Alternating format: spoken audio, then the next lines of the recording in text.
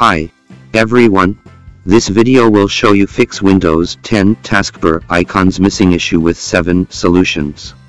Solution 1. Restart Windows Explorer. Right-click on the taskbar and click Task Manager.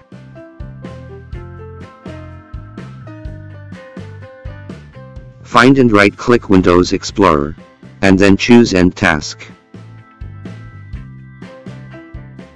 Click File and Run New Task. Then type explorer.exe to restart Windows Explorer.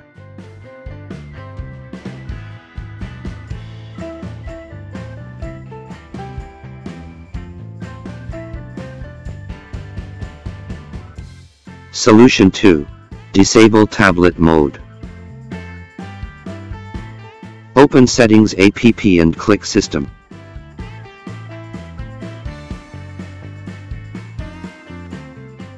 Go to Tablet and choose Never Use Tablet Mode under When I Sign In section.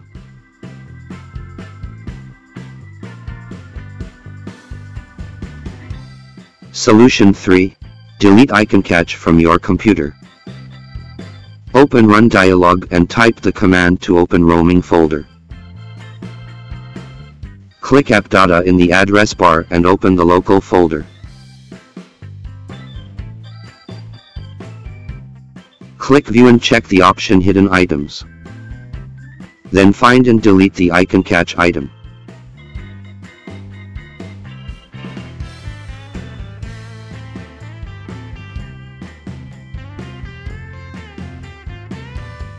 Solution 4. Turn off controlled folder access. Open Settings and click Update and Security. Click Windows Security and Virus and Threat Protection.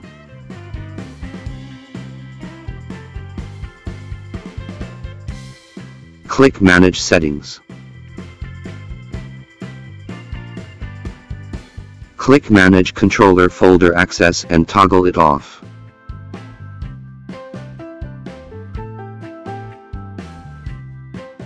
Solution 5.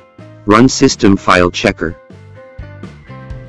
Press Win and R keys, and type CMD to open command prompt.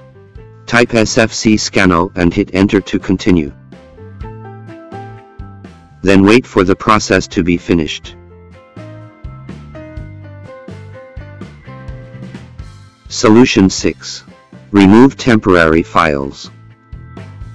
Open Run dialog and type the command to open temp folder.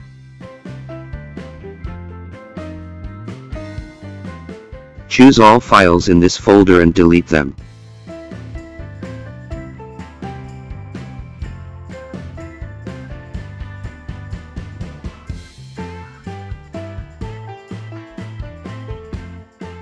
Solution 7.